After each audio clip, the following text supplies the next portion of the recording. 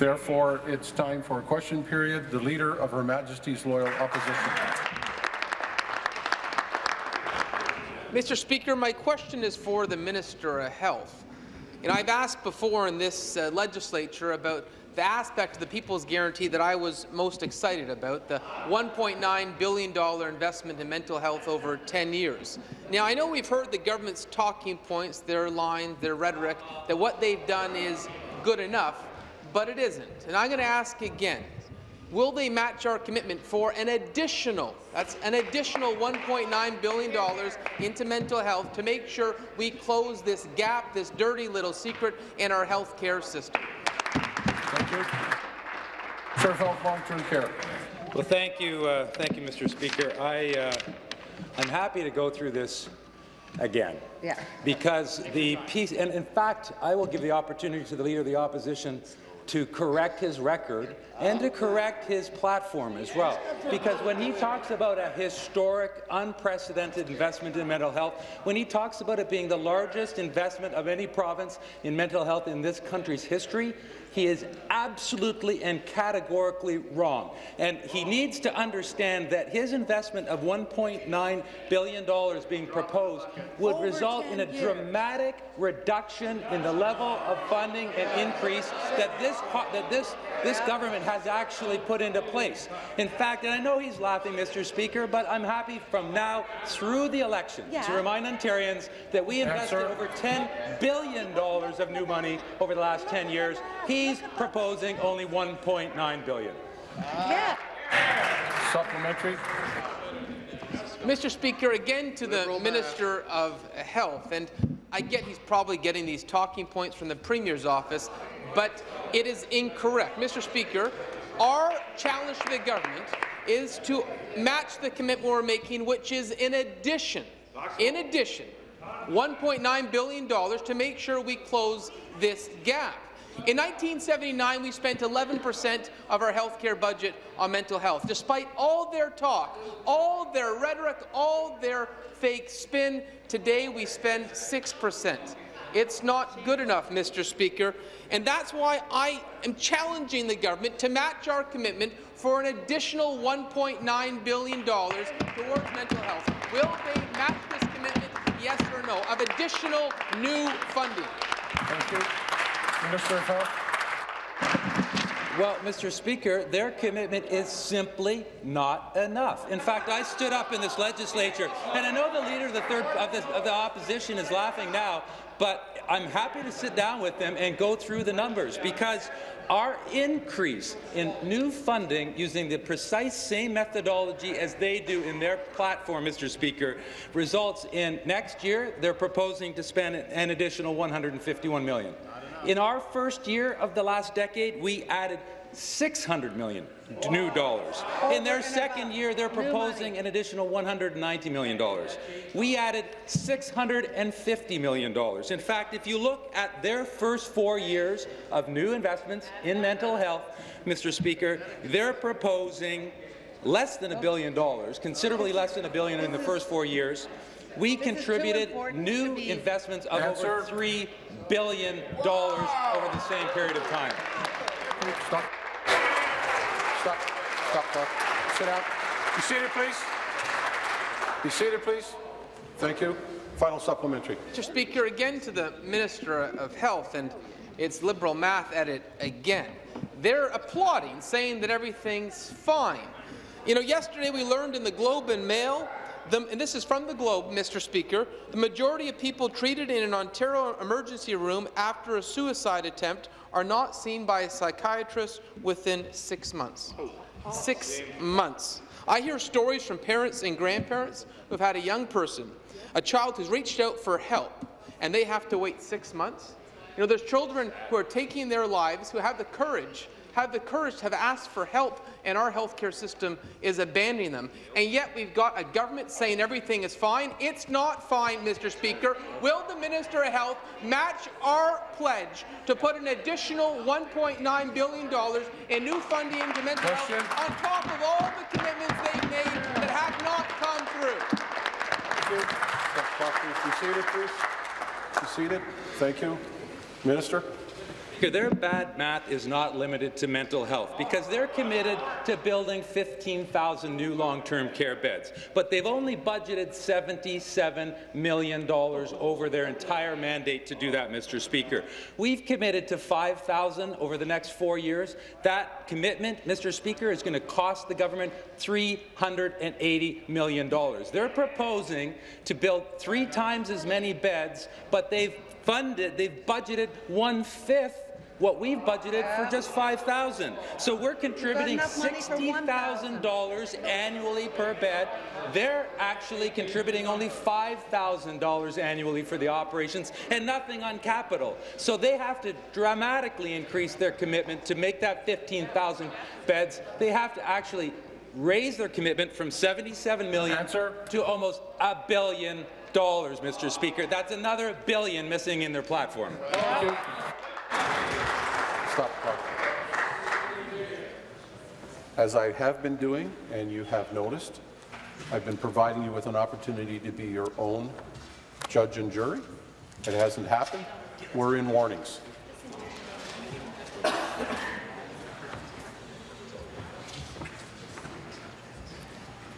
Thank you.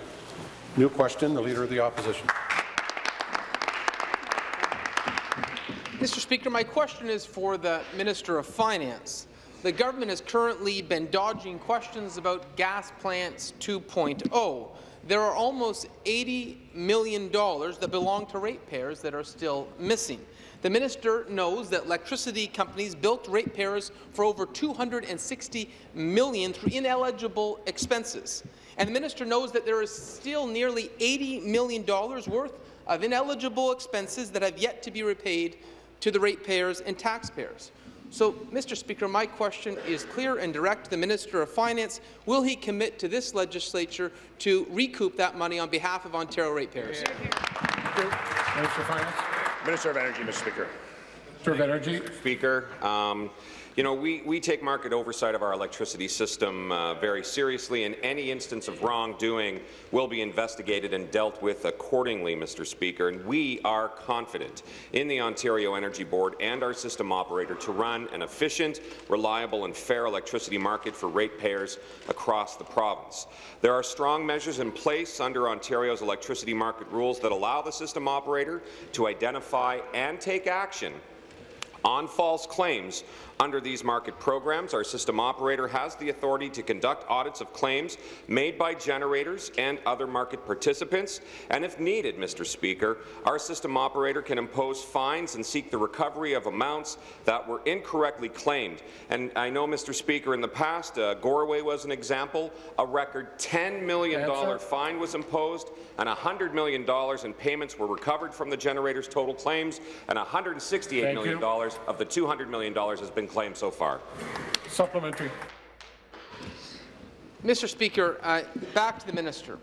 We know that one of those companies gaming the system was the government-run OPG. We know that they are doing this at the same time that hydro rates were skyrocketing, seniors couldn't afford their hydro bills, were being disconnected, and families were afraid, petrified, to open their hydro bills. What, how did the government respond? They ignored warning after warning after warning. And then they rewarded, this is unbelievable, Mr. Speaker, they rewarded the former CEO of OPG with a bonus of half a million dollars. A half a million dollar bonus while the system was being played like a fiddle. Taxpayers, ratepayers abused. So my question, Mr. Speaker, is who signed off on this half a million dollar bonus Why OPG built the system and ratepayers had their funds Question. stolen? Thank you. Minister. Thank you, Mr. Speaker. OPG is Ontario's low-cost provider of electricity, and they take the responsibility to Ontarians very seriously, Mr. Speaker. OPG works every day to ensure they act in an appropriate and fully compliant manner that respects the rules that govern Ontario's electricity system, Mr. Speaker. With regard to their participation in the real-time generator cost guarantee program, OPG believed they were acting in compliance with the program's policies as set out by the system operator. OPG has said in a statement they did not intentionally misuse the market rules, and OPG was not sanctioned as a result of their participation in that program. The audit did determine that there were differences in understanding of what constituted eligible costs under the program. So in respect of some of what those eligible costs were, OPG repaid certain claims, uh, claimed amounts after Answer. discussions concluded what were eligible costs. OPG promptly repaid all of the amount to the ISO in full in 2015 Thank you. and the matter was concluded. Final supplementary.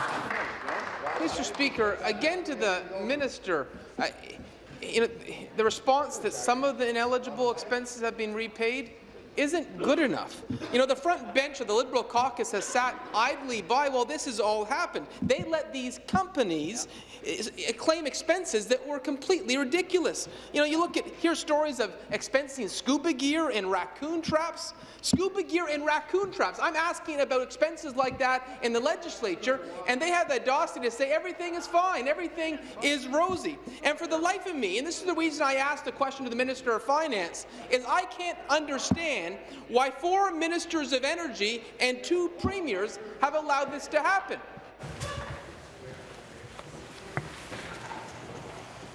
The member from Essex is warned.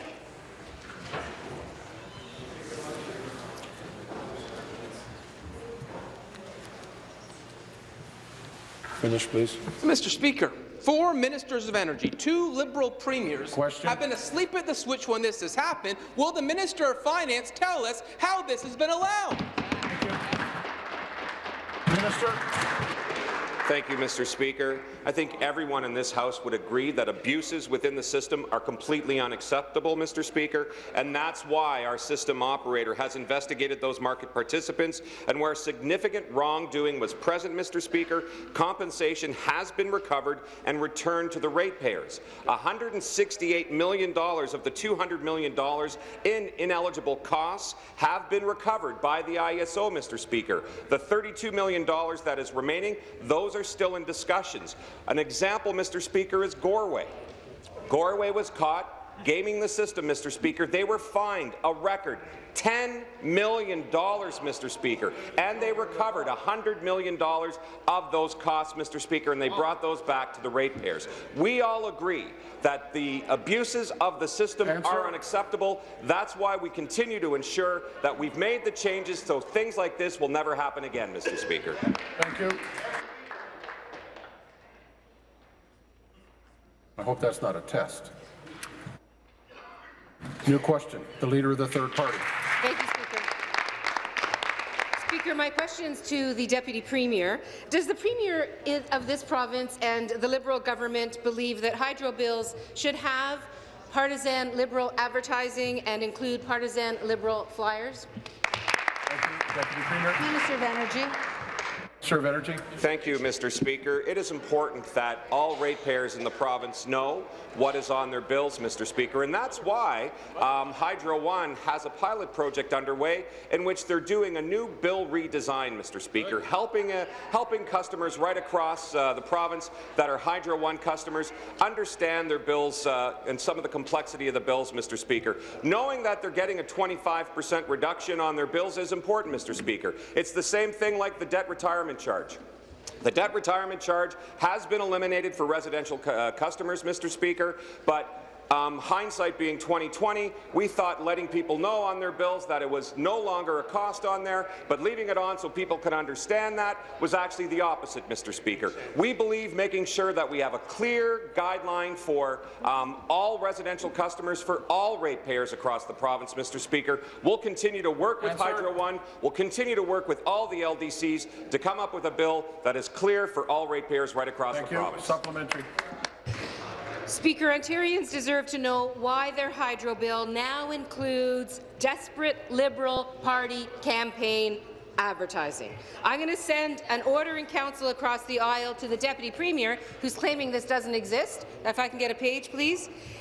What this does is it forces hydro companies to include Liberal campaign messaging on people's hydro bills. Wow. And the order is personally signed by the Minister of Energy wow. and the Deputy Premier, who also happens to be the chair of the Ontario Liberal election campaign.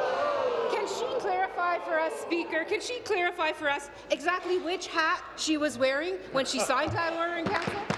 Thank you. Minister. Thank you, Mr. Speaker. It is this Deputy Premier, it's this government that wears the hat that protects ratepayers, Mr. Speaker. It's that party over there, Mr. Speaker, that votes against a 25 per cent reduction for every single family in this province. How can they look in the mirror, Mr. Speaker, and stand up every day and say that they're defending the ratepayers in this province when they did absolutely nothing, Mr. Speaker? Absolutely nothing. What they talk about right now is buying back Hydro One shares, Mr. Speaker. That's actually going to stop building hospitals, Stop building schools, Mr. Speaker. That's what we're doing on this side of the House. When it comes to Northern Ontario or rural customers or low-income individuals or First Nations individuals, you know what they did, Mr. Speaker? They forgot about them. They actually didn't even put them into their plan. And they can wave their finger all they want, but the truth hurts, Mr. Speaker. It's this party that protected ratepayers in this province. Be seated, please. Be seated, please. Final supplementary. Speaker, the Minister of Energy and the chair of the Ontario Liberal election campaign personally signed the order for hydro utilities to include partisan messaging in Ontario's hydro bills. Who is paying for these Liberal flyers, Speaker? The people of Ontario or the Liberal Party? It's an easy answer, Mr. Speaker. It's the people of Ontario, unlike the opposition, right? The people of Ontario is the one that we actually stand up for. And Let me check my list. I'll, I'll, I'll check it twice. I believe someone is warned.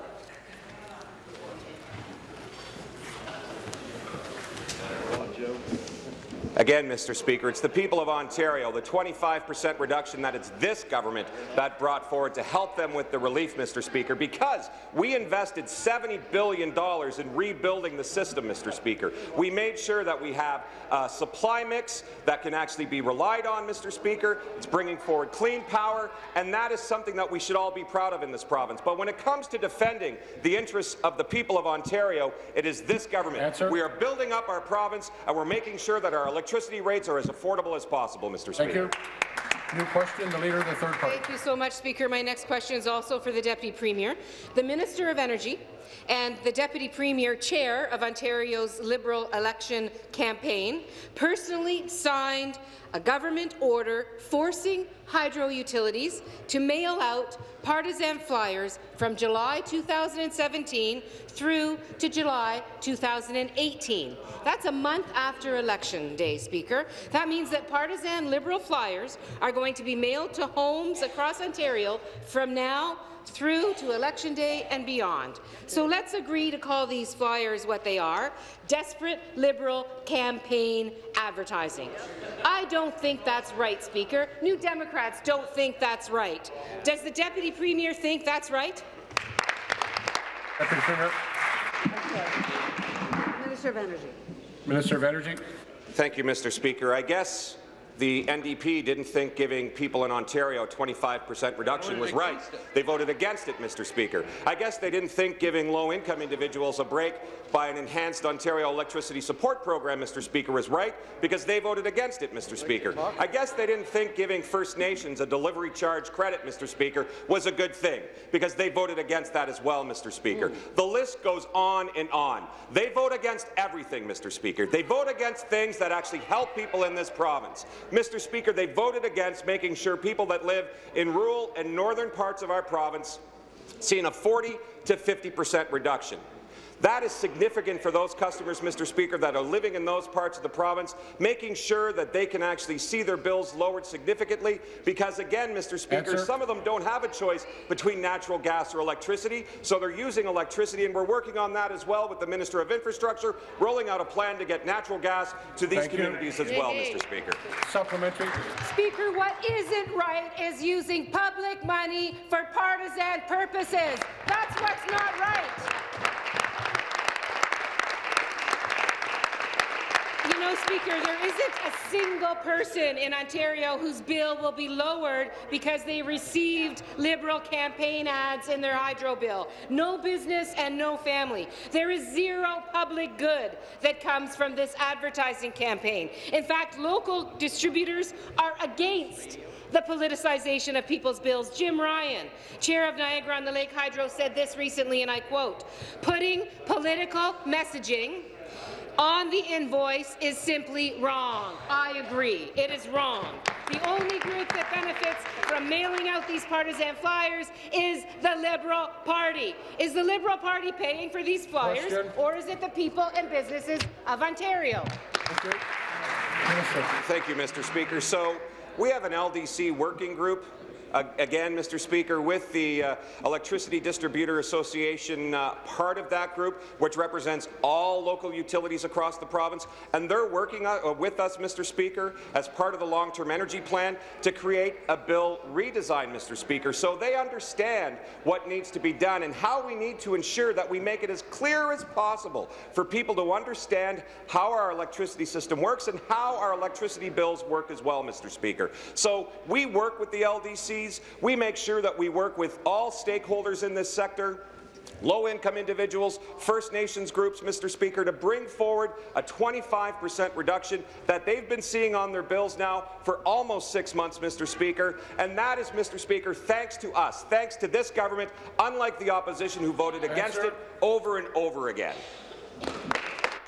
Final supplementary. Speaker, he's got a working group of the LDCs together so that they can figure out how they're going to put the forced partisan advertising on the hydro bills in Ontario. That's what's going on, Speaker. Ontarians should not be paying for desperate partisan Liberal flyers to be printed and then mailed to them in their hydro bills. It's bad enough that people have to open their bill and see the costs that's come from decades of Conservative and Liberal privatization in our electricity system. They shouldn't have to get Liberal Party campaign ads as well. Will this Liberal government do the right thing by the people of this province and stop this practice immediately? Thank you. Be seated, please. Be seated, please. Thank you. Minister. Mr. Speaker. So when people open their bills in this province, what they see is a 25 percent reduction, thanks to this government, Mr. Speaker. Member from Hamilton Mountain is warned. Carry on.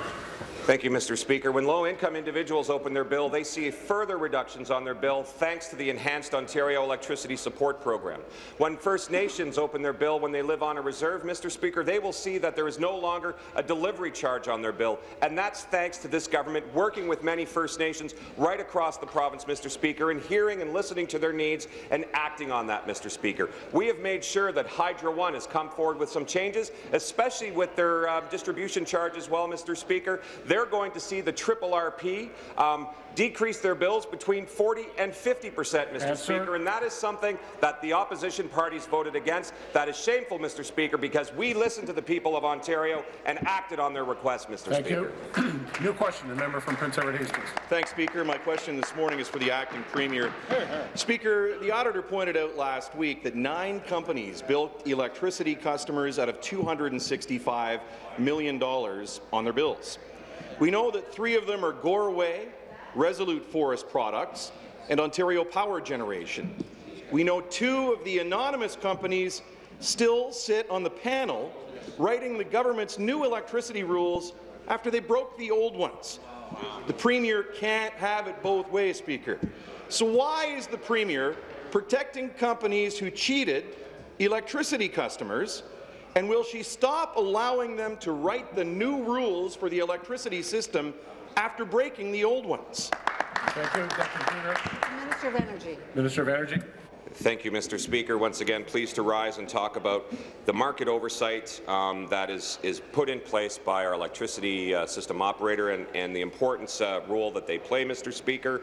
And again, um, I think we would all agree that any abuses of our system um, just cannot happen, Mr. Speaker. And so we are looking at uh, changing the system. We've got market renewal underway. And what we have there, Mr. Speaker, is rebuilding the foundation of our electricity system to allow for more flexibility but also to ensure that the abuses of this system stop and don't continue, Mr. Speaker. So we have a working group in place right now um, to make sure that we can find ways to ensure that we can make this system function properly. And it is important to stay, say, uh, say Mr. Speaker, that the two co-chairs of that working group have resigned Answer. as of December 1st, and they both come from the companies that were mentioned by the uh, member from the opposition. Thank you. Supplementary. This is an absolute snow job by the government again, and we need to get to the bottom of this. Even the electricity uh, system operator, the IESO, is tired of covering for the government. The ISO told the Canadian press yesterday that the government is allowed to change the rules and disclose the names of the other six companies who cheated electricity customers on their bills. So now we're back to the greatest hits of the Liberals in question period. Who are they protecting? And what are they hiding? Speaker, will the acting premier commit to the people of Ontario that will have the names of those anonymous companies by the end of business today? Thank you. Thank you, Mr. Speaker. Again, um, the ISO right now is continuing discussions with those companies, working on getting back $32 million of costs that were ineligible, Mr. Speaker. And as OPG come out and said publicly that they were, yes, one of those companies, they actually resolved that quite quickly back in 2015. Through that process, Mr. Speaker, OPG thought they were applying for program costs that they were eligible for. After discussion with the system operator, they recognized that they weren't eligible for these costs, and so they uh, um, acted quickly, Mr. Speaker, to make sure that they could repay those costs. They did that very quickly back in 2015. There was no fines levied because it was an error, and they recognized that error, and they fixed that mistake, Mr. Speaker. The costs were recovered, and they made sure, Mr. Speaker, that it was concluded in a, excuse me, in a timely fashion, Mr. Speaker. Thank you. New question. The Leader of the Third Party. Thank you, Speaker. My question is for the Deputy Premier. Week after week, we're hearing more heartbreaking stories of overcrowding inside Ontario's hospitals and the suffering that families are going through. South Lake Regional Health Centre in Newmarket is operating at 125 percent capacity. Patients are being put in hallways, auditoriums, lounges, and even gymnasiums because there aren't enough fund funded beds. Executives at South Lake are speaking out now and calling it an overcrowding crisis. But the Premier has only given South Lake four temporary beds. Why is this government doing so little to help patients who are being treated today in hallways, auditoriums and gymnasiums in hospitals across this province? Thank you. Deputy Premier. Minister of Health and Long-Term Care. Minister of Health, Long-Term Care. Well, Mr. Speaker, you'll recall that uh, a number of weeks ago, uh, this government made the announcement that we are creating 1,200 new acute care beds across this province. And in addition to that, uh, roughly 600 for transitional care. And I'm very pleased to announce, and very proud, in fact, that we have now opened, as of Sunday, the Reactivation Care Centre that was formerly at the Finch site of Humber River Hospital. And I want to congratulate all of the hospitals and their staff that made an absolutely perfect and seamless transition, including I want to acknowledge the CEO of South Lake Regional Hospital Health Centre, Mr. Speaker, because they transported 30 of their inpatients into this reactivation centre at the Finch site, wow. Mr. Speaker, and that is just one of five hospitals where they now have 125 additional beds opening, and as you can imagine, reducing by between 6 to 8 percent the complement of people in beds, including at South Lake. So, in fact, this is Fantastic. very important for that hospital. Thank you. Supplementary. Speaker, South, Lake has 100 more patients than they have funding to care for, but the Premier is only allocating four beds, four temporary beds. That means patients are stuck in hallways. Patients don't have bathrooms. They have to share public washrooms down the hallways from their rooms. People don't have privacy, and the hospital isn't able to use the right kind of infection control measures. People are suffering from the crisis of hospital overcrowding in the GTA and across Ontario. Why isn't this government doing more to stop the crisis that the Liberal and Conservative hospital cuts have created over these last couple of years? Minister. So, Mr. Speaker, we're opening, and in most cases have opened the equivalent of six community hospitals across this province. And that includes, so the hospitals that are involved in the Humber site include Mackenzie Health, South Lake, North York General Hospital, and the Humber Wilson site as well. Each of those hospitals is moving 30 of their existing inpatients into that better transitional rehabilitative and reactivation care. But in fact, Mr. Speaker, in the in early 2018, Markham Stouffville will transfer an additional 24, and Mackenzie is going to send over another 90, Mr. Speaker. It will result in a 17% reduction in the inpatient load at Mackenzie, and not to be beaten by uh, that specific announcement, Hillcrest Reactivation Centre through University Health Network in St. Elizabeth just opened this past weekend as well an additional 75 beds for transitional rehabilitation care. This is a fantastic uh, pro uh, progress, and I congratulate all of those Thank you. involved. New question, member from Trinity Spadina. Uh, thank you, Speaker. Good morning. Uh, my question is to the Minister of Housing, Minister responsible for poverty reduction strategy. We know that even though Ontario's economy is strong, some people are still struggling to get by. Poverty is a problem that needs to be eradicated so everyone, everyone has the opportunity to achieve his or her full potential and contribute to a prosperous and healthy Ontario. One way we are working towards this goal is through the Local Poverty Reduction Fund. I know that it is a six-year, $50 million commitment by this government to help eradicate poverty in our communities, and in, in, that includes my riding of Trinity Spadina, and it's working. The minister was in Thunder Bay just yesterday to make a further announcement on local poverty reduction fund. Could the minister tell us more about this announcement? Thank you. Thank you. Minister of Housing, minister responsible for the re reduction of poverty strategy. Thank you, Mr. Speaker, and I want to thank the uh, member from Trinity Spadina for the question. In Ontario, we have an incredibly strong economy right now, Mr. Speaker, but unfortunately, poverty remains a reality for far too many Ontarians. On this side of the House, we're committed to creating fairness and op opportunity for all Ontarians. And earlier this fall, I announced Ontario's uh, commitment to the poverty reduction strategy with $16 million for 48 projects in communities right across Ontario. But yesterday, Mr. Speaker, I was in Thunder Bay to announce the Indigenous stream of local poverty reduction fund initiatives uh, created in partnership with Indigenous communities and First Nations. Mr. Speaker, these programs are going to assist those communities in tailoring programs that are specific to their needs that will assist Indigenous and First Nations people uh, with food security, with their housing, with income supports and employment supports. Mr. Speaker. Supplementary. Uh, I want to thank the minister for that answer. In fact, recently I was able to announce several projects in and around my riding that funded through the local Re poverty reduction fund. This includes funding to the Access Capital Community Fund, which will use the funding to help train newcomers, visible minority, women, youth, and other in entrepreneurship and other skills development. This funding will help so many people by giving them the opportunity to thrive in Ontario. I'm glad to hear the local poverty reduction fund is helping Indigenous community in specific. Could the minister tell us more about our government's effort to alleviate poverty in Indigenous community and support healthy, prosperous community? Thank you, Speaker. Good question. Thank you. Minister. Uh, Minister of Indigenous Relations and Reconciliation. Minister of Indigenous Relations and Reconciliation. Thank you, Speaker. Speaker, our government knows that poverty looks very different depending on what part of the province you're in, and the needs of Northern Ontario First Nations can in fact be quite different than those in Southern Ontario. Speaker, that's why we are investing $5 million in 14 Indigenous-led housing projects that were announced yesterday by the Minister of Housing.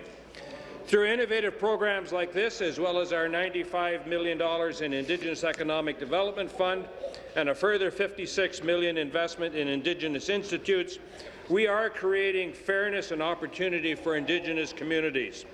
Our government knows that reconciliation requires action in addition to words, and that's why we are working with Indigenous communities to ensure a better future for Indigenous Answer. peoples in Ontario. Thank you, Speaker. Thank you. New question, the member from Nipissing. Thank you and good morning, Speaker. My question is for the Minister of Finance. The Financial Accountability Office uh, showed us Ontario is working with three sets of books, Speaker. Wow. That is simply ridiculous. We need one set of books, one true set of numbers to guide us. There's a way to do this, and that's for the government to follow the law, pass a regulation, and release their pre-election finance report. They promised. The Auditor General said, quote, it's in the public's interest for the government to give us a pre-election report to examine as soon as possible with sufficient time to do our work.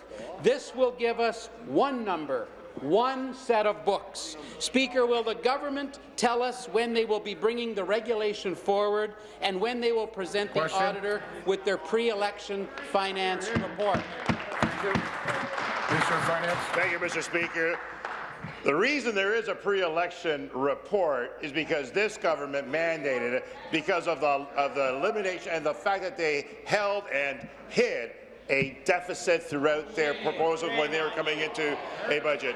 We are balancing the books, Mr. Speaker, and I thank the FAO for uh, the work they're doing around the sensitivity. He acknowledges that our economy is growing, that we have taken steps to balance the budget. In fact, the public accounts, which is the one that matters most, is what has happened to the state, illustrate that we beat again our targets last year by over $3 billion under 0.1 billion in terms of our actual results. So I acknowledge the work that's being done by the FAO, and I recognize that the member opposite, with his own promises, are not able to keep it because his own uh, an- analysis states that they are not going to be able to achieve it. And I'll Answer. say more in the supplementary, Mr. Speaker.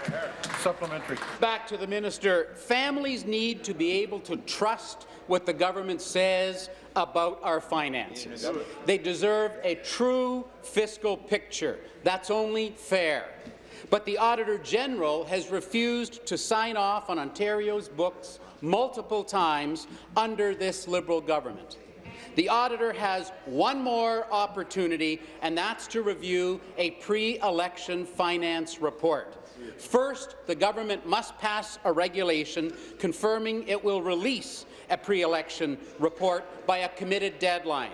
We want one set of books so we can truly assess the damage the Liberals have done to Ontario. Speaker, I'll ask again.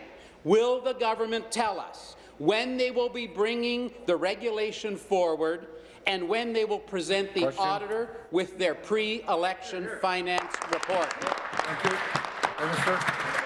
Mr. Speaker, we are using the accounting principles that have been provided over the last 16 years. And in fact, an independent review of the government's pension accounting and other things that was commissioned illustrated by an expert panel concluding that the province's accounting treatments are correct. I'll leave those disputes to the accountants. But I'll say this, Mr. Speaker. Kevin Page, the individual that assessed the People's Guarantee, says the following. Assessing the reasonableness of the estimates of the fiscal plan underlying the 2018 election platform of the Progressive Conservative Party, he says this, we caution readers that the provisions of an opinion on the reasonableness of the estimates underlying the fiscal plan includes reliance on third parties for information. He says, they, we, not, we do not currently, or we're not currently in a position to pronounce on those expectations. We look forward to seeing more detailed plans of the future. Answer. Their numbers are based on ours, Mr. Speaker, and they are estimating a deficit with what we're saying is Thank you. New question, the member from Hamilton Mountain. Uh, thank you, Mr. Speaker. My question is for the acting premier. Zara Anucha, Amanda Zulman, and Michelle Sparling are here today. They are incredibly brave advocates for children's mental health services. Zara and Amanda needed mental health supports, but like 12,000 children in Ontario, they were told that they would have to wait for the care that they desperately needed or their parents would have to pay for it out of pocket. It's just not right that any child should have to wait months on end for mental health supports that they need. Will the acting premier commit to eliminating the wait list for children's mental health services so that every child gets the help they need right away? Thank you. Deputy Premier. Minister of Children and Youth Services. Minister of Children and Youth Services. Well, thank you, Mr. Speaker. Our government is working to truly build a mental health system here in the province of Ontario uh, for young people that aims to reduce wait times and offer more services to those who need it. As a government, Mr. Speaker, we've increased our mental health spending every single year since we've been in government. We've invested over $10 billion more into the system since 2008. And, Mr. Speaker, we'll continue with that trend. Our party and the Minister of Health has publicly committed in this House on a number of occasions that we will put forward more than $1.9 billion over the next 10 years. We're working with experts right across the system, right across the province, to ensure that we're putting the investments in the right place so we can reduce wait times for young people. In child, in the Ministry of Children and, and in our ministry and within the sector, Answer. the reality is that the complexities that young people are going through today, Mr. Speaker, are different from where they were 10 years ago, and we're building a system to take on those challenges. Supplementary. Speaker, community-based mental health centres have received only two small increases to their base funding in the past 25 years. And here's what that means for families. Moms like Michelle have had to drive long distances to get the vital treatment their kids needs. Every year, 50,000 children and youth end up in crisis inside our overcrowded hospitals because they have no other place to go. As we learned just yesterday, the majority of people who are treated in an emergency room after a suicide attempt are not getting follow-up appointments with needed psychiatrists. When will this government take real action to improve mental health care and actually eliminate wait lists for children and youth across Ontario? Be seated, please. Be seated, please. Thank you. Minister. Thank you, Mr. Speaker. Um, back in uh, 2011-2012, our government committed to a new process uh, called Moving on Mental Health. It was to build a new strategy here in the province of Ontario that was backed up with a $100 million investment into children's mental health in the province of Ontario. But, Mr. Speaker, that strategy commitment was to look at the way we fund, um, we fund youth mental health here in the province of Ontario so we could actually reduce wait times. We know that this is, uh, this is a, a challenge that continues to change. But, Mr. Speaker, here are some of the investments we've actually made over the last few years into youth mental health. In partnership with my ministry and the Ministry of uh, Health, we've built nine new youth wellness hubs for young people aged 12 to 25. We spend 3 million annually to support training professional development for Indigenous mental health and addiction workers, $2.75 million uh, for psychiatric hospitals, 16 million to create 1,000 more supportive housing spaces, nearly $48 million- mil- million for specialized mental health services at St. Joseph Care Group in Thunder Bay, and the list goes on and on and on, Mr. Thank you. New question, the member from Etobicoke North. Thank you, Speaker. My question is for the uh, Minister of Health and Long-Term Care, the Honourable Eric Hoskins. Speaker, one of our mandates and indeed animating beliefs is that our government believes that everyone in the province of Ontario deserves high-quality health care that is dignified and compassionate. And that, in particular, Speaker, includes those individuals fighting substance use disorders. We've, of course, been clear throughout the past year that we've been dealing with this as a crisis, an opioid crisis that unfortunately has taken the lives of far too many people. To address this, our government has put in place the most comprehensive opioid strategy in the country. And as we've been making critical investments to strengthen our strategy and supporting those saving lives on the front lines. But still, Speaker, last week we received tragic news from the Chief Coroner of Ontario that opioid-related deaths are continuing to rise in Ontario. Question. Speaker, my question is this. I asked the Minister of Health and Long-Term Care if he can inform this House what are the critical steps our government is taking to address this growing public health emergency. Minister emergency. of Health, Long-Term Care. Thank you, Mr. Speaker. Uh, Mr. Speaker, as Minister of Health and as a public health physician and as a father and husband, uh, not a day goes by that I do not reflect on the heartbreaking reality of this crisis, and those numbers are unfortunately going up, Mr. Speaker. Last week, in response to a recent federal policy change, I wrote a letter to the federal health minister declaring this crisis a public health emergency and formally requesting that they expand our ability to respond to the growing crisis by allowing us to approve and fund overdose prevention sites. Mr. Speaker, we were granted this exemption immediately, and we can now further strengthen Ontario's current harm reduction efforts in communities and protect the courageous frontline workers at these sites from federal prosecution. Mr. Speaker, we have also ramped up access to addiction treatment across the province, including in over 30 communities Answer. that will now be able to access effective rapid ac access addiction medicine clinics. Mr. Speaker, these are some of the life-saving supports that we're providing. Thank you. Supplementary. Thank you, Speaker, and I thank, of course, the Minister of Health and Long-Term Care for that uh, answer. Speaker, as a uh, physician and parliamentarian, of course, I'm pleased to be part of government that has taken such strong action to ending the opioid crisis.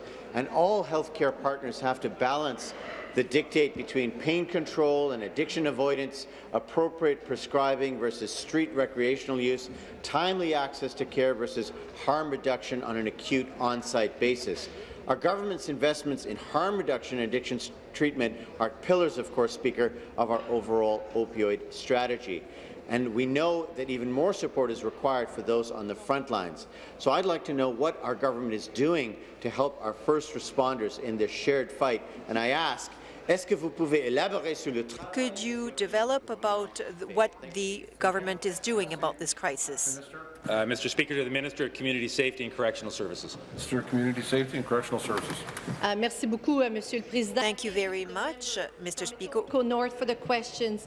Last week's opioid overdoses numbers from the chief coroners reinforces the critical need for urgent action to address this crisis. People suffering from addiction are often more likely to have contact with frontline responders. It is vital that we make sure our police officers and firefighters have the tools they need to respond when they find someone in crisis. When someone is overdosing, minutes can make the difference between life and death. That's why our government is making life-saving naloxone available for free to each and every police and fire services across the province. And Mr. Speaker, our firefighters and our first responders Answer. are essential partners in fighting the opioid crisis, and we will continue working together to ensure that we continue safety in our communities. Thank you. New question, the member from Whitby, Oshawa. Thank you, Speaker. My question is for the Minister of Advanced Education and Skills Development. Ontario's community college students lost an historic five weeks. Five weeks of class time due to the strike, which the Liberal government could have resolved earlier, but chose not to. The impact has been devastating, Speaker, for Ontario students. Many students have made the very difficult decision to drop out of their community colleges. Speaker, will the Minister of Advanced Education and Skills Development confirm today that approximately 25,000 students have dropped out due to the Liberal government's inaction to the strike? Thank you. Minister of Advanced Education and Skills Development. Well, thank you, Speaker, and um, I, we will be confirming numbers very shortly. Uh, we are collecting data from colleges to understand what that withdrawal rate was. We thought it. It really doesn't matter where you sit. I can hear you. The member from Leeds Grenville is warned. Uh, Speaker, we thought it was important to give students the choice, given the strike, that they could either stay in and get caught up and complete their semester. I'm happy to tell you that the vast majority of students have chosen to do that. However, for those who felt All right, we want to play. I win. The member from Niagara South Glanbrook is warned. did think it was fair to students to give them the choice to make the decision that was right for them. Uh, and if they chose to withdraw uh, two weeks within two weeks after the strike, Yes, sir. Speaker, uh, their their tuition would be fully refunded. Thank you. Supplementary. Back to the Minister of Advanced Education. Speaker, Ontario's community colleges have done everything they can do to encourage students to remain in school. But the Liberal government, as it did for five weeks, five weeks, Speaker, during the strike, continues to sit on its hands. For five weeks, the Premier let the strike drag on, and now the Liberal government is delaying the release of the number of community college students who dropped out because the information damages them politically. Ontarians have the right, Speaker, to know the consequences of the Premier's lack of leadership on the community college strike. Will the minister stop playing politics and confirm today that approximately 25,000 dropped out from the Ontario's college, community colleges due to the Liberal government's inaction? Thank you. Minister. Speaker, uh, I, I have committed to releasing those numbers as soon as they, uh, they are available, Speaker. I uh, reiterate that commitment today. What I can tell you is the vast majority of students have stayed. There will be a, a, significant number of those who withdrew with tuition refund and without academic penalty who will be re-enrolling in uh, January or perhaps September, depending on the program. But if the member opposite is suggesting that we throw collective bargaining out the window, that we just legislate back, Speaker, he clearly needs to understand that by law, we simply aren't allowed to do that, Speaker. We must let the collective bargaining process work. We wanted to let that happen. There's no question that the, the people who were most impacted by the strike were the students. Answer. We've talked about that all the time, Speaker, and we've given them choices. Thank you. New question, the member from Timiskaming Cochrane. Thank you, Speaker. My question is to the Deputy Premier. Last Friday morning, December 8th, there was a tragic collision on uh, Highway 11. Uh, two transports collided on uh, the Pan Lake corner, and our thoughts go out to the families of the deceased. And what makes this even more tragic is on November 24th of last year, on exactly the same corner, another person in a transport lost their life. What makes this even more tragic is on December 12th, 2012, again, in the same place, another life was lost. And each time, the highway is closed. People in Northern Ontario are cut off because there is no detour. People on the Trans-Canada are starting to be very afraid to drive. When will the minister step in and ensure that winter maintenance standards in highway construction is actually done correctly in this stretch To the Minister of Transportation. Minister of Transportation. Thanks very much, Speaker. I thank the member from Timiskaming Cochrane for the question. He and I have had a chance to speak about this informally here in the chamber over the last couple of days.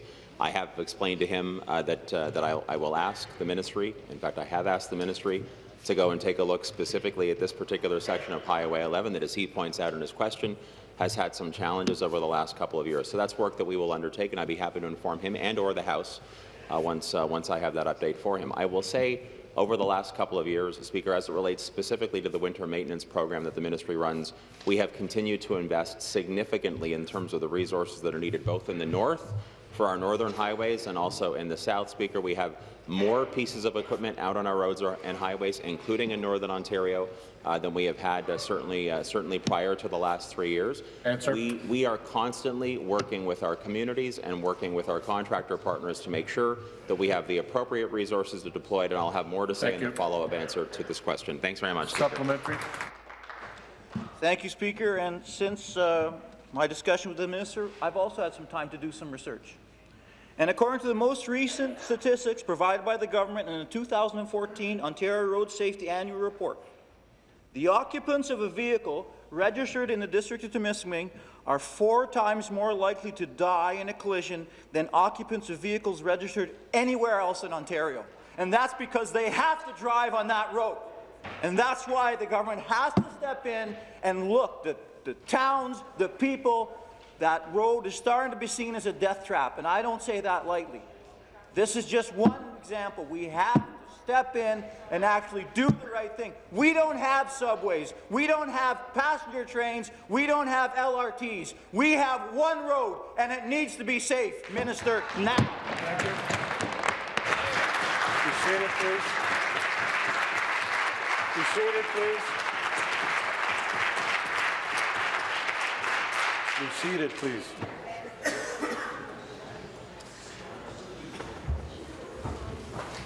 Minister. Thank you very much, uh, Speaker, and I thank the member from Timiskaming Cochrane for his follow-up question, and I certainly respect not only his advocacy but for his, his passion uh, which is obviously uh, clear in, in the way that he's asked the question today. I will say, as I said in my opening answer, our government continues to invent, invest in our winter maintenance program, including in Northern Ontario. Uh, it seems uh, so notwithstanding what the member from Kitchener just said from the NDP caucus, in fact, the auditor did recognize last year that we have made substantial improvements in the program, both in Kitchener and in the north of the province, Speaker. Having said that, I understand that our work is not yet done. The member's question ties in both highway construction and investments in the infrastructure and also the winter maintenance program. I've already referenced what we're doing in winter maintenance. I will also say, Speaker, as I believe all members know, over the last number of years, certainly in the last couple in particular, the amount of money that we are investing as a government Answer. in our Northern Highways program is unprecedented, Speaker, but we know that we have to continue to do more. And in subsequent years, through budgets presented by the Minister of Finance, I have no doubt Thank that you. we'll continue to invest in this and in other highways to make. Thank you. New question, the member from Davenport. Thank you, Speaker. My question is for the Minister of Children and Youth Services. Minister, last Thursday, your ministry announced the details to some very important enhancements to the Ontario Autism Program, or OAP. I know our government has taken great care to consult with families in creating the OAP. I also know that in my riding of Davenport, I have spoken with many families and passed their feedback and concerns on to the minister. My constituents have expressed a need for choice and consistency in the program. Many families have also expressed the need for a direct funding option. I know there has been much work to provide families with a clear choice they have been asking for, the choice between direct funding and direct service. Minister, can you please share with this House the details of the new direct funding option? And thank you, Minister of Children and Youth Services. Well, thank you, Mr. Speaker. And I want to thank the member from Davenport for her question. Uh, she's a, a, strong advocate for families and for children uh, here in the province of Ontario. Uh, Mr. Speaker, I had the opportunity to travel across the province and meet with families and meet with parents and talk to them uh, about the autism program here in the province of Ontario. And I just want to take a moment to thank them uh, for their feedback. Uh, the member's right. Um, we heard a very clear message from families uh, when having those discussions. And uh, to respond to those families, um, we as a government are introducing direct funding options to families. So beginning January 15th of next year, so in weeks from now, we will increase the maximum hourly rate for service purchased through the OAP from $39 an hour to a maximum of up to $55 an hour. We will communicate new qualifications for clinical supervisors that will be phased in. We'll also create an OAP provider list that will help families select a qualified OAP service provider in the spring, and I have more in the supplemental, Mr. Speaker. Thank you. Supplementary. Thank you, Speaker, and thank you to the Minister for listening to families. I hope that all members of this House are supportive of parents' call for choice in the system and their ask for a direct funding option. There is no doubt that system transformation is a difficult undertaking, and it can create a lot of confusion for families. I've also heard from parents in my riding that when it comes to accessing autism services, the system can be very difficult to navigate. In the new Ontario Autism Program, how is your ministry going to ensure that parents are aware of the resources available to their families and are able to easily navigate the system? Thank you, Minister. Thank you. Mr. Speaker. So there are a number of changes that are coming to the program. I want all families to experience a smooth and seamless transition into the new Ontario Autism Program. The new OAP has a single point of access in each of the nine service areas. This will make it easier for families to access services. Contact numbers are available on my ministry website. I'm also hosting, Mr. Speaker, two teletown halls, one on January 11th at 7 p.m. and again on January 7, 17th at 7 p.m. Parents can ask questions and get direct answers from myself and ministry staff. Details of the teletown halls and the regional providers' information are on the website ontario.ca forward slash autism. I hope that all members in this House uh, are proud of this program and they share this information with their constituents. Thank you, Mr. Thank Speaker. Thank you. The member from Dufferin-Caledon. Thank you, Speaker. My question is to the Deputy Premier. According to Community Living Ontario, there will be a 25% reduction in the number of hours for supports for families with disabilities as a result of the government's changes to labour laws.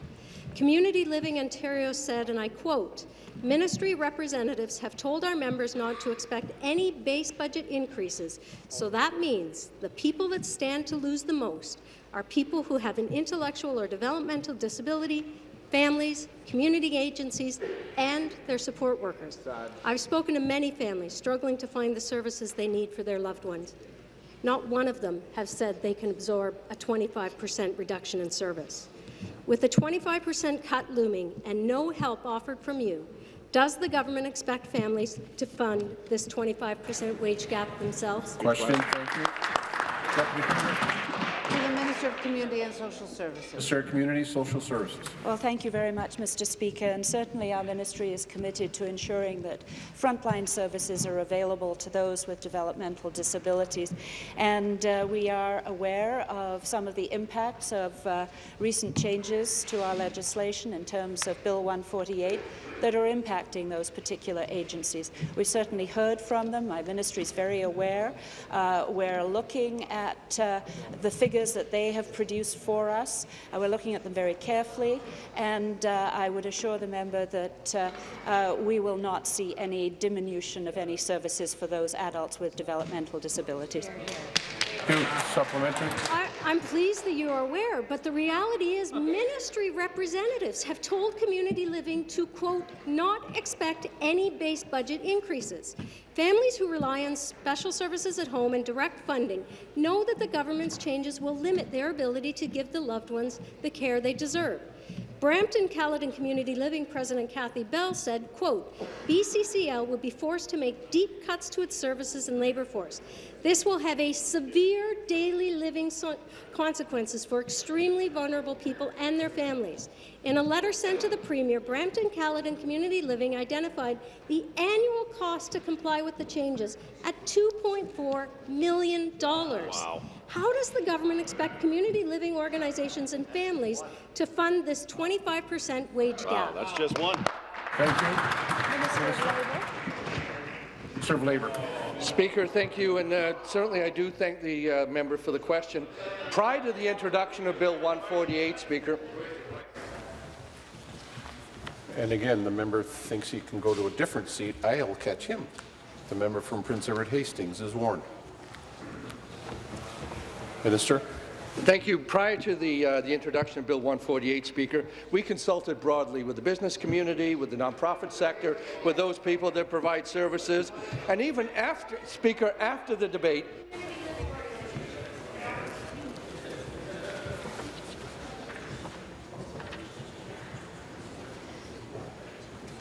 These carry over into the afternoon, by the way. Speaker, what became clear was the dedicated men and women that look after the most vulnerable in our society, Speaker, sometimes needed to have their pay increased, sometimes needed some better employment standards, Speaker. These are the people that look after the most vulnerable, Speaker. What we said is that we would increase the minimum wage in the province to $14 an hour, Answer. and then to $15 an hour. It would, we, it would apply to them as well, Speaker. The opposition party voted against this, Speaker. They don't stand behind the people that look after our most Thank you. vulnerable. Should be ashamed of themselves, Speaker.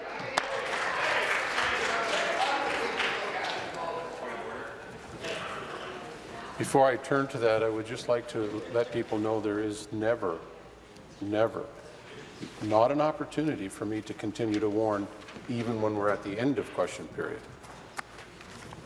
Point of order, the Minister of Energy. Thank you, Mr. Speaker. I'd just like to correct my, ref, uh, my record, Mr. Speaker, in reference to a question from the uh, member from uh, Prince Edward uh, Hastings uh, in reference to the $32 million I used. Uh, these are disputed costs between the ISO and the companies, and the ISO's rules have changed to. Thank you. We have a deferred vote on the motion of third reading of Bill 174, an act to enact the Cannabis Act 2017 and Act Ontario Cannabis Retail Corporation Act 2017 and the Smoke-Free Ontario Act 2017 to repeal two acts and to make amendments to the Highway Traffic Act respecting alcohol, drugs, and other matters. Calling the members, this will be a five-minute bell.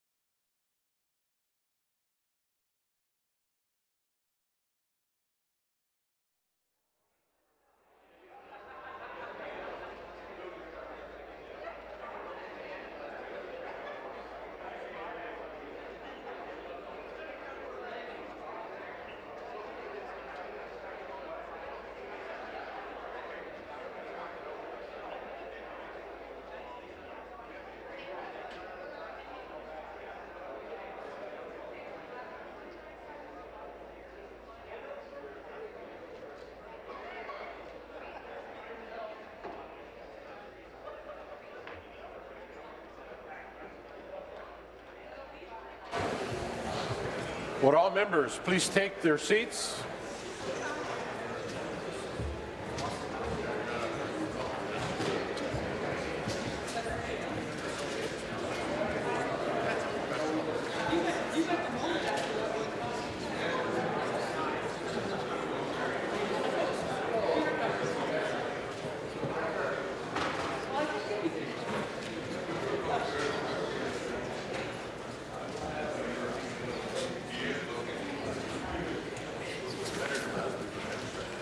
December the 11th, 2017, Mr. Naqvi moved third reading of Bill 174, an act to enact Cannabis Act 2017 and the Ontario Cannabis Retail Corporation Act 2017 and the Smoke-Free Ontario Act 2017, and to repeal two acts and to make amendments to the Highway Traffic Act respecting alcohol, drugs, and other matters. All those in favour, please rise one at a time. Be recognized by the clerk. Mr. Naqvi. Mr. Naqvi. Mr. Bradley. Mr. Bradley. Mr. Del Duca. Mr. Del Duca. Mrs. Sandals. Mrs. Sandals. Mr. Su- Mr. Sousa. Mr. Sousa. Ms. Wynne. Ms. Wynne. Ms. Matthews. Ms. Matthews. Mr. Hoskins. Mr. Hoskins. Mr. Chiarelli. Mr. Chiarelli. Mr. Duguid. Mr. Duguid. Mr. McMeekin. Mr. McMeekin. Mr. Colle. Mr. Colle. Mr. Berardinetti. Mr. Berardinetti. Mr. Delaney. Mr. Delaney. Mr. Dhillon. Mr. Dhillon. Mr. Ballard. Mr. Ballard. Mr. Chan. Mr. Chan. Mr. Moridi. Mr. Moridi. Mr. Coteau. Mr. Coteau. Ms. Hunter. Ms. Hunter. Mr. Leal. Mr. Leal. Mr. Flynn. Mr. Flynn. Mr. Thibeault. Mr. Thibeault. Madame Lalonde. Madame Lalonde. Mr. Qaadri. Mr. Qaadri. Mrs. Mangat. Mrs. Mangat. Mr. Crack. Mr. Crack. Ms. Damerla. Ms. Damerla. Mrs. McGarry. Ms. McGarry. Mr. Mauro. Mr. Mauro. Ms. Jaczek. Ms. Jaczek. Mr. Zimmer. Mr. Zimmer.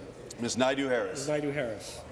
Ms. McMahon. Ms. McMahon. Mr. Milczyn. Mr. Milczyn. Ms. Wong. Ms. Wong. Mr. Fraser. Mr. Fraser. Mr. Anderson. Mr. Anderson. Mr. Baker. Mr. Baker. Mr. Dong. Mr. Dong. Ms. Hoggarth. Ms. Hoggarth. Ms. Kiwala. Mr. Kiwala. Ms. Malhi. Ms. Malhi. Mrs. Martin. Mrs. Martin. Mr. Potts. Mr. Potts. Mr. Rinaldi. Mr. Rinaldi. Ms. Vernile. Ms. Vernile. Madame Des Rosiers. Madame Des Rosiers. Mr. Natyshak. Mr. Natyshak. Ms. Shibisong. Ms. Shibisong. Ms. Horwath. Ms. Horwath. Mr. Vanthof. Mr. Vanthof. Madame Gélinas. Madame Gélinas. Ms. DiNovo. Ms. DiNovo. Mr. Tabuns. Mr. Tabuns. Ms. Taylor. Ms. Taylor. Ms. Armstrong. Ms. Armstrong. Ms. Fife. Ms. Fife. Ms. Forster. Ms. Forster. Mr. Hatfield. Mr. Hatfield. Mrs. Gretzky. Mrs. Gretzky. Mr. Gates. Mr. Gates. Ms. French. Ms. French. All those opposed, please rise one at a time. Be recognized by the clerk. Mr. Hillier. Mr. Hillier. Mr. Arnott. Mr. Arnott. Mr. Hardeman. Mr. Hardeman. Ms. MacLeod. Ms. MacLeod. Mr. Wilson. Mr. Wilson. Ms. Jones. Ms. Jones. Mr. Brown. Mr. Brown. Mr. Clark. Mr. Clark. Mr. Fedeli. Mr. Fedeli. Mr. Yakabuski. Mr. Yakabuski. Mr. Miller Parry Sound-Muskoka. Mr. Miller Parry Sound-Muskoka. Mr. McNaught. Mr. McNaught. Ms. Thompson. Ms. Thompson. Mr. Barrett. Mr. Barrett. Mr. Yurek. Mr. Yurek. Mr. Smith. Mr. Smith. Mr. Bailey. Mr. Bailey. Mr. Romano. Mr. Romano. Mr. Oosterhoff. Mr. Oosterhoff. Mr. Harris. Mr. Harris. Mr. Nicholls. Mr. Nicholls. Mrs. Martow. Mrs. Martow. Mr. McDonell. Mr. McDonell. Mr. Pettapiece. Mr. Pettapiece. Mr. Coe. Mr. Coe. Mr. Cho. Mr. Cho. Mr. MacLaren. Mr. MacLaren.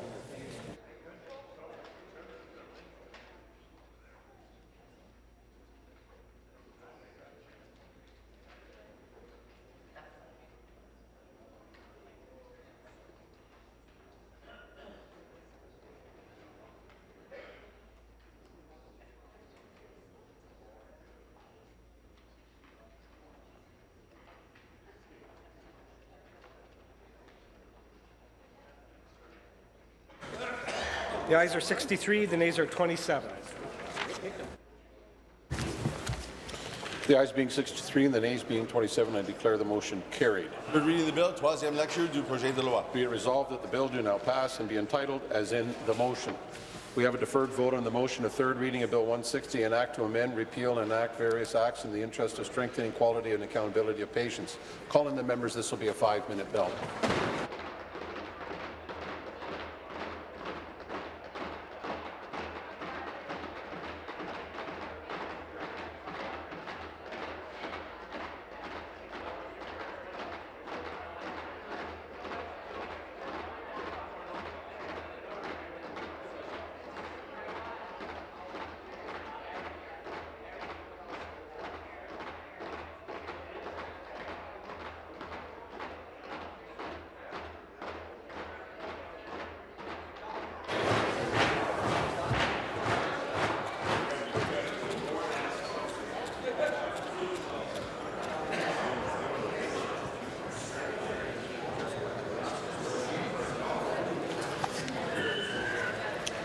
On December 7, 2017, Mr. Ballard moved third reading of Bill 160, an act to amend, repeal, and enact various acts in the interest of strengthening quality and accountability for patients.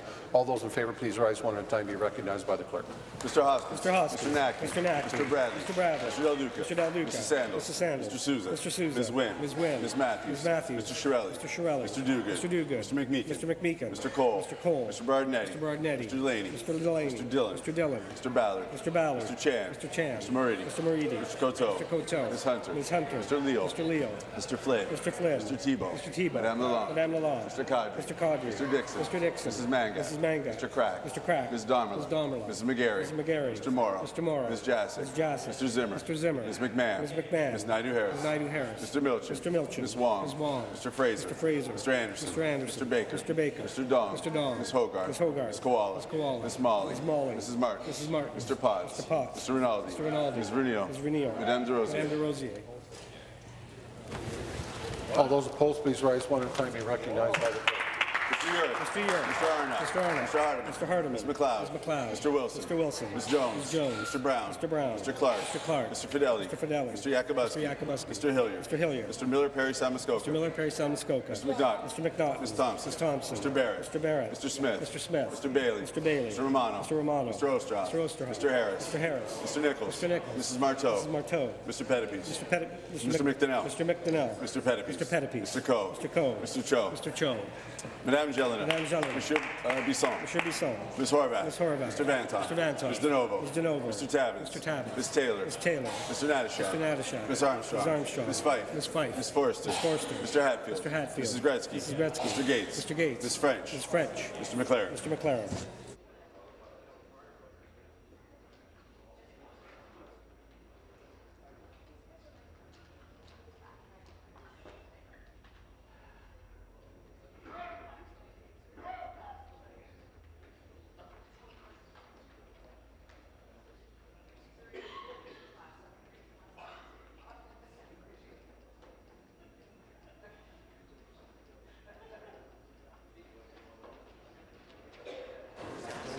The ayes are 49, the nays are 42.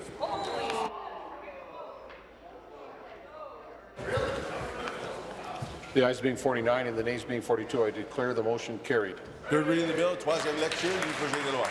Be it resolved that the bill do now pass and be entitled as in the motion. We have a deferred vote on the motion of closure of the third reading of Bill 139. Calling the members, this will be a five-minute bill. Same vote. Same vote. The ayes are 49, the nays are 42. The ayes being 49 and the nays being 32, I declare the motion carried. That it? That's it. There are, oh, Mr. Mauro, Mr. Mauro has moved third reading of Bill 139 and act to enact the Local Planning Appeal Tribunal Act 2017 and the Local Planning Appeal Support Center Act 2017 and to amend the Planning Act and the Conservation Authorities Act with various other acts. Is the pleasure of the House motion carry?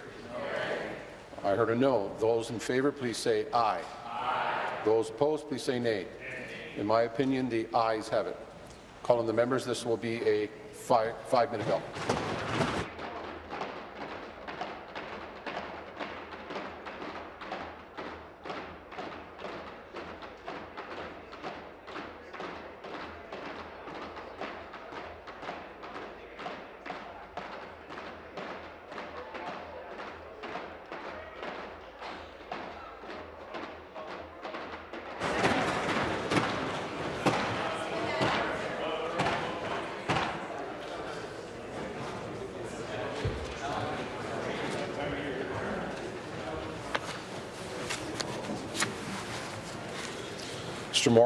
third reading of Bill 139, an act to enact the Local Planning Appeal Tribunal Act 2017 and the Local Planning Appeal Support Center Act 2017, and to amend the Planning Act, the Conservation Authorities Act, and various other acts. All those in favour, please rise one at a time. Be Mr. Mauro. Clerk. Mr. Naqvi. Mr.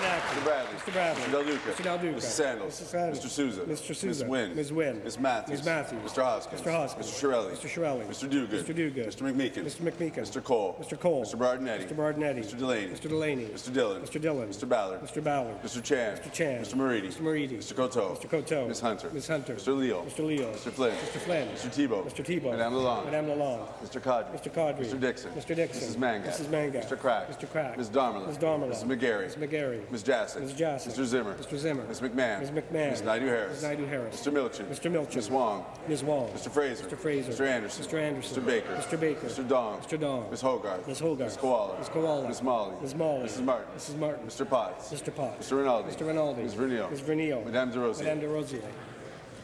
Mr. Hardeman. Mr. Hardeman. Mr. Arnott. Mr. Arnott. Mr. Wilson. Mr. Wilson. Ms. Jones. Ms. Jones. Mr. Brown. Mr. Brown. Mr. Clark. Mr. Clark. Mr. Fedeli. Mr. Fedeli. Mr. Yakabuski. Mr. Yakabuski. Mr. Miller Parry Sound-Muskoka. Mr. Miller, Parry Sound-Muskoka. Mr. Mr. McNaughton. Mr. McNaughton. Ms. Thompson. Ms. Thompson. Mr. Barrett. Mr. Barrett. Mr. Smith. Mr. Smith. Mr. Bailey. Mr. Bailey. Mr. Romano. Mr. Romano. Mr. Oosterhoff. Mr. Oosterhoff. Mr. Nicholls. Mr. Nicholls. Mrs. Martow. Mrs. Martow. Mr. McDonell. Mr. McDonell. Mr. Pettapiece. Mr. Pettapiece. Mr. Coe. Mr. Coe. Mr. Cho. Mr. Cho. Mr. Hatfield. Mr. Hatfield. Monsieur Bisson. Should be song. Ms. Horwath. Ms. Horwath. Mr. Vanthof. Mr. Vanthof. Madame Gélinas. Madame Gélinas. Ms. DiNovo. Ms. DiNovo. Mr. Tabuns. Mr. Tabuns. Ms. Taylor. Ms. Taylor. Mr. Natyshak. Mr. Natyshak. Ms. Armstrong. Ms. Armstrong. Ms. Fife. Ms. Fife. Ms. Forster. Ms. Forster. Mrs. Gretzky. Mrs. Gretzky. Mr. Gates. Mr. Gates. Ms. French. Ms. French. All those opposed, please rise one at a time. Be recognized by the clerk. Mr. MacLaren. Mr. MacLaren.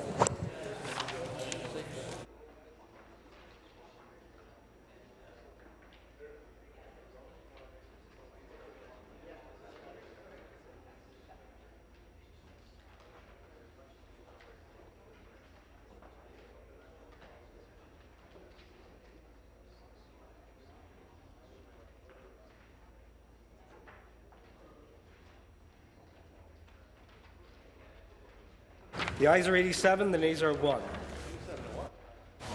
The ayes being 87, the nays being 1, I declare the motion carried. Third reading of the bill, troisième lecture du projet de loi. Be it resolved that the bill do now pass and be entitled in the motion. There are no further deferred votes. This House stands recess until 3 p.m. this afternoon.